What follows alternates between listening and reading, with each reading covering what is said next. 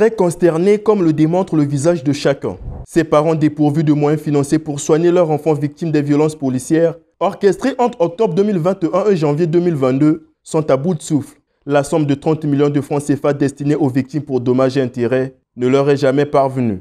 Les fonds qui ont été donnés, qui ont été alloués pour euh, les soigner ne sont toujours pas versés. Le trésor public n'a toujours pas débloqué les fonds pour les soigner. Donc ces familles n'arrivent plus à soigner leurs enfants. Parce que vous constatez très bien qu'au Congo, le plateau médical ne permet pas à ce que ces enfants soient soignés, puisqu'il y a des eaux qui sont déjà sorties, il y a beaucoup d'infections. Donc ces familles demandent d'avoir les fonds que la justice a, autorisé d'avoir euh, pour que ces, ces, familles puissent emmener leurs enfants vers d'autres pays, au Maroc, RDC ou ailleurs. Ça sera eux de choisir. Mais il y a aujourd'hui un problème parce que ces enfants sont mourants dans les maisons. Ils ont gagné le procès, d'accord.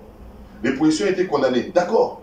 Mais on ne peut pas laisser les enfants mourir. Il faut débloquer les fonds que la justice a octroyés comme euh, une manière d'indemniser les familles pour que ces familles aillent faire soigner leurs enfants à l'étranger ou en RDC ou même ici à Brazzaville. Avec l'appui multiforme de l'acteur de la société civile Joe Washington et Bina, ses parents dont les enfants ont sévèrement subi des coups et blessures volontaires ayant entraîné la mort pour les uns et l'infirmité pour les autres se lamentent avec amertume, comme cette mère larme aux yeux n'arrive pas à se remettre. tu esemondoki likambo ndenge bazosambisa yango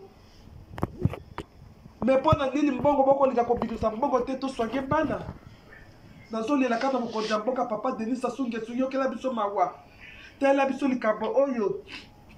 Yoka kolela na biso bamama tala mpasi ya mama ya 9 mois mama antoinette sassou yoka kolela na biso sunga biso. Zwa likambo vraiment na mpasi na motema.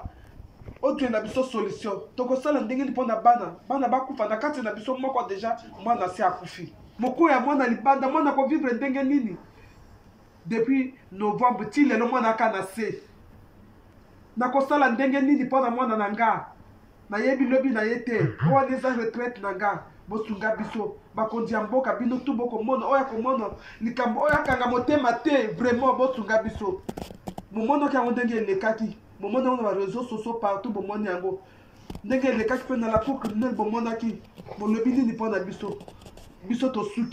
Ce cri d'alarme devrait titiller les autorités afin de permettre très rapidement le déblocage de ces fonds destinés à leur indemnisation.